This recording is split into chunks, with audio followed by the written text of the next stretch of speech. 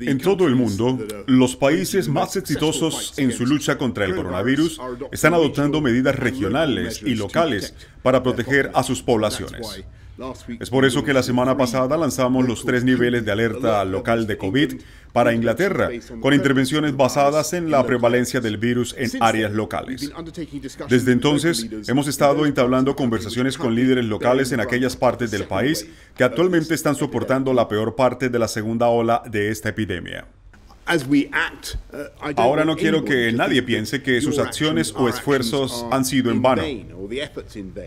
Nuestra acción colectiva en todo el país ha llevado el número R muy por debajo de su tasa natural de aproximadamente 3. Como resultado, el virus no se está propagando tan rápido como lo hizo en febrero y marzo.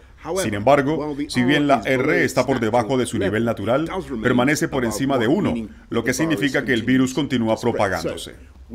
Por lo tanto, debemos tomar medidas para reducir la R y controlar el virus, especialmente en aquellas partes del país, como acaban de ver, donde el virus es más prevalente.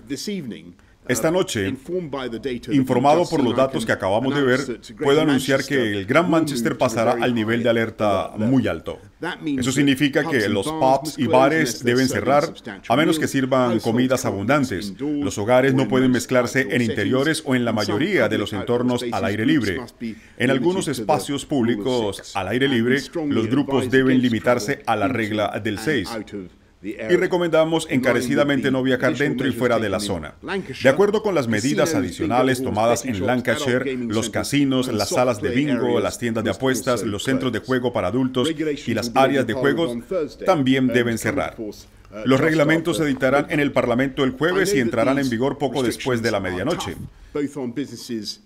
Sé que estas restricciones son estrictas, tanto para las empresas como para las personas, y créanme, nadie quiere poner en práctica estas cosas, pero es por eso que estamos implementando un paquete integral de soporte. Uh, el plan de apoyo laboral garantiza que los afectados por el cierre de empresas siguen recibiendo su pago. Y una vez que lo complete con el crédito universal, las personas de bajos ingresos recibirán al menos el 80% de sus ingresos normales. Hemos puesto a disposición hasta 465 millones de libras esterlinas para ayudar a las autoridades locales a implementar y hacer cumplir las restricciones. Gran Manchester recibirá 22 millones de libras de esto. Y eso se suma a los mil millones de libras esterlinas adicionales de financiación adicional que estamos proporcionando a todas las autoridades locales en todo el país. Trabajaremos con las autoridades locales para asignar las pruebas e introducir el rastreo de contactos. Durante los últimos 10 días hemos tratado de acordar un enfoque con los líderes locales en el Gran Manchester. Desafortunadamente no se llegó a un acuerdo. Y me arrepiento de eso. Como dije la semana uh, pasada, tendríamos más posibilidades de derrotar al virus si trabajamos juntos. Uh, Además, uh, debo decir que al apoyo descrito anteriormente, Hicimos una oferta generosa y amplia para apoyar las empresas de Manchester. Esta oferta fue proporcional al apoyo que le hemos brindado a Merseyside y Lancashire, pero el alcalde no lo aceptó, lamentablemente. Y dada la situación de la salud pública, ahora debo proceder con el traslado del Gran Manchester, como digo, al nivel de alerta muy alto. Porque no actuar pondría en riesgo el NHS de Manchester y las vidas de muchos de los residentes de la zona.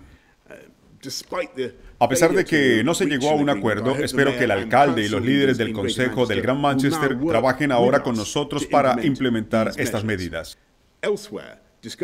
En otros lugares, continúan las discusiones sobre el paso a nivel de alerta muy alto con los líderes locales en South y West Yorkshire, Nottinghamshire y el noroeste. Y espero que el gobierno central y local continúen trabajando en estrecha colaboración, como estamos viendo en Merseyside, Lancashire, Londres y muchas otras partes del país.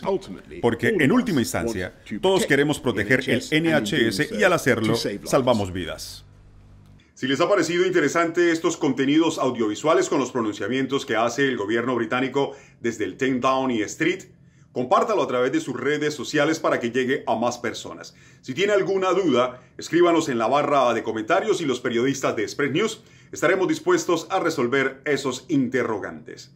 Quien les habla, el periodista Orlando Mancini de Express News.